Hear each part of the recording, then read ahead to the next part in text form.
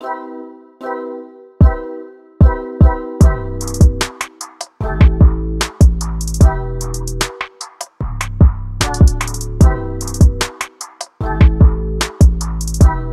day and thank you for checking out the ACS library. My name's Kyle and I aim to help you prepare for the private pilot check ride for free in just 14 minutes a day. In today's incredibly long video, we discuss charting symbology, how things are depicted on the VFR charts. This video's objective is to leave you confidently and correctly interpreting sectional and TAC charts. Information for this video was gathered from the FAA's Aeronautical Chart User's Guide. A link is provided in the description. It is important to show up to your check ride with a current VFR sectional chart and a TAC chart if you fly near Bravo airspace or your assigned flight plan involves Bravo airspace. The charts have changed only a little bit recently. The K in front of the airport's ICAO identifier is no longer depicted. Back in my day, fuel services were depicted by three tick marks surrounding the airport. Now they're depicted by four. In order to keep this video organized, we will split the chart symbols into seven sections. They are land features, airspace, airport information, special use airspace,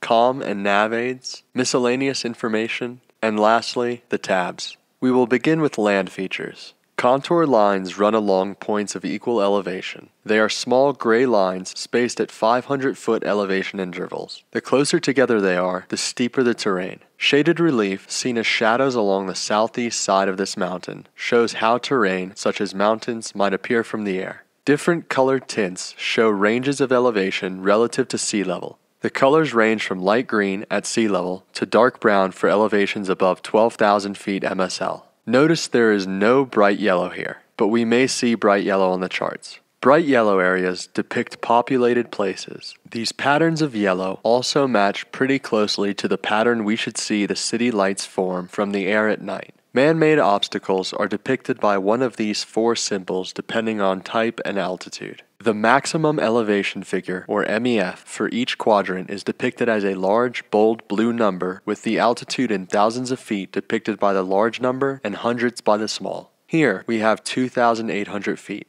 Flying at or above the maximum elevation figure, ideally, should guarantee one obstacle clearance, assuming one's altimeter is set correctly. The maximum elevation figures in quadrants where the highest obstacle is man-made, like this one, are determined by the following procedure. Take the elevation at the top of the obstacle, add a buffer of 100 feet to that, increase this value to the nearest hundred, and we are left with our maximum elevation figure. If the highest obstacle was made by Mother Nature, we add a buffer of 300 feet instead. Take this value and raise it to the nearest hundred and call it a day. Here, we are left with 13,500. Lastly, isogonic lines depict the angular difference between true and magnetic north in an area. This covers land features. Time to move on to section 2, airspace. Alpha airspace is not depicted on sectional charts, but lies everywhere from flight level 180 to flight level 600. Bravo is depicted by all these solid blue lines, with the upper and lower limits of each shelf in hundreds of feet depicted in fraction format as shown in all these tiny pink boxes. The Bravo airport is surrounded by a 30 nautical mile radius Mode C veil depicted by a solid red line. Charlie airspace is depicted similarly to Bravo, but with red lines instead of blue. Altitude is still in the fraction format. If a T is involved, that means the airspace extends upward until reaching the Bravo airspace above it. Delta airspace is depicted by a dashed blue line. The upper limit of the airspace is depicted in hundreds of feet MSL. A minus sign means up to that altitude but not including. Echo Airspace has a ceiling of 17,999 feet MSL. Echo with its floor at 1,200 feet AGL exists everywhere that other class Bravo, Charlie, or Delta airspace does not exist. The floor extends down to 700 feet AGL inside of where magenta shading is shown, and down to the surface inside of dashed magenta lines. Echo with floors other than these three altitudes will be depicted inside of a blue zipper pattern. Golf airspace exists underneath Echo. This covers airspace. Next, we move on to airport information. Using Ogden Hinckley Airport in Utah, the airport info will generally follow a format similar to the following. Not everything will be included if it is not present at the airport. First, we have the name of the airport, Ogden Hinckley, followed by the ICAO identifier, Oscar Golf Delta. Up next, the control tower frequency at 118.7.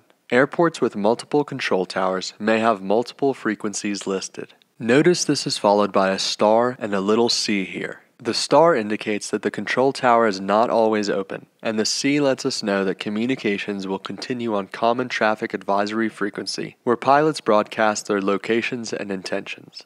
Below this, we have our weather reporting frequency. Ogden's ATIS frequency is 125.55.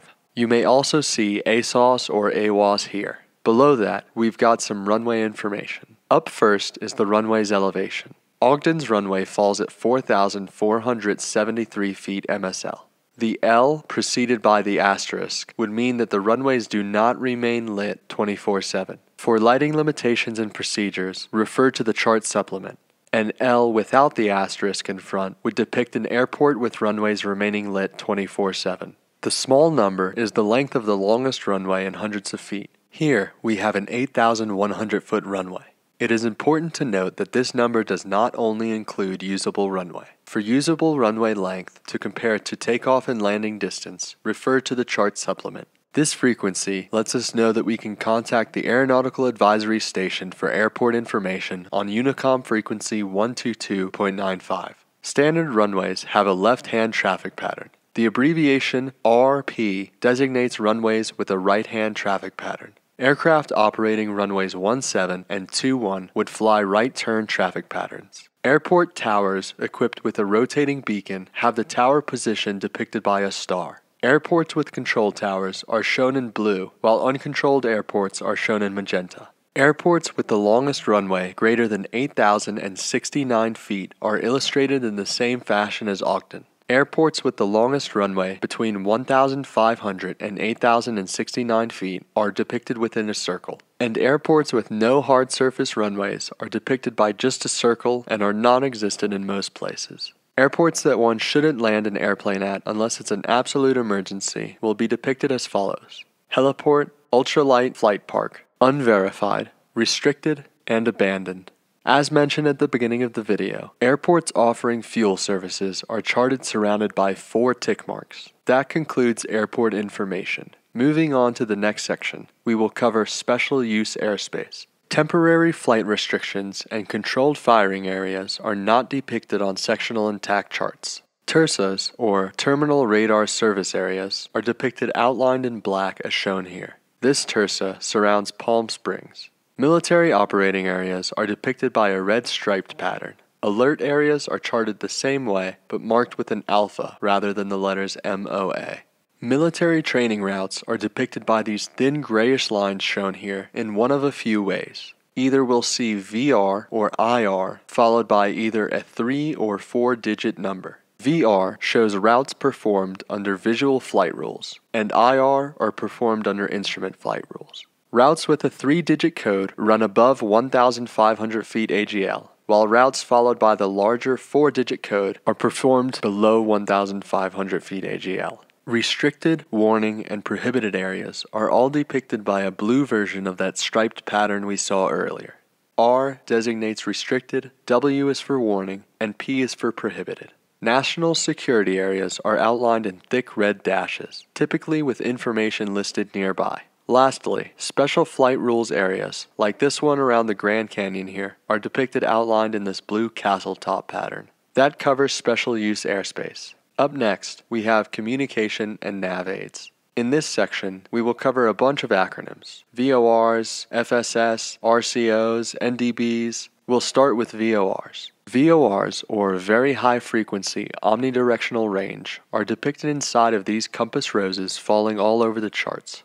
VORs fall under three categories normal VORs, VORTACs, VOR stations with TACAN capability used by the military, and VOR DMEs, or VORs with distancing measuring equipment capabilities. Keep in mind that these compass roses were all set to magnetic north in the year they were built, so the zero degree or north reference arrow of one VOR compass rose may differ greatly from the next. Inside of the compass rose, we'll find a box with some information, like the VOR station name, the frequency, the identifier, and that Morse code noise that we should hear when we've tuned into the VOR. Flight service station information can also be depicted in this box if there is a flight service station nearby. The name of the nearest flight service station is listed underneath with the frequencies listed on top. This underline designates a frequency with no transmitting capabilities. If a frequency is followed by an R, that means that the flight service station only receives messages on that frequency.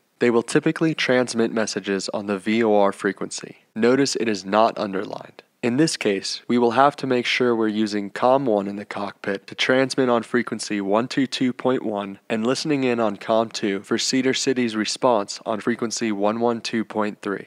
RCOs, depicted similarly to flight service stations, are remote communications outlets. These are radio towers set up to extend the communications capabilities of flight service stations. You will see them scattered throughout the charts. The idea is for the pilot to make calls to the RCO frequency as if they were making the call directly to the flight service station itself.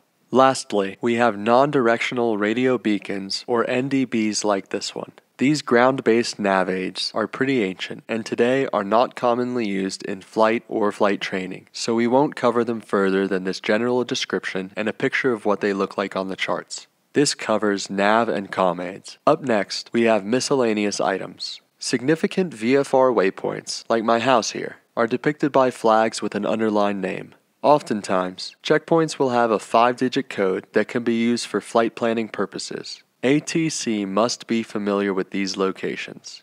Victor Airways are charted as these long blue strips running all along the charts. The VOR radial it follows is depicted and further along we would find the name, a two or three digit numerical code preceded by a V. Lastly, we've got the miscellaneous activity areas depicted by this guy. G for glider, U for ultralight, Alpha is for aerobatic, H for hang glider, and Uniform Alpha for unmanned aircraft. The parachute depicts areas where there may be heavy parachuting activity. A space shuttle would depict a space launch area. The next two items are shown only on TAC charts. The less detailed sectional chart does not include them. VFR transition routes through Bravo airspace are depicted by double-sided red arrows with instructions typically listed nearby and on the back of the chart. IFR arrival and departure corridors are shown as well, depicted by light gray chevrons. These help us to avoid the paths of large aircraft flying under IFR, with pilots focused on instrument approaches or departures. It is a really good idea to steer clear of these. Arrivals are depicted by the paths with an aircraft, and departure paths are depicted without an aircraft. The last thing we'll cover in this video is the tabulation of the charts. The tabs offer us some really helpful information.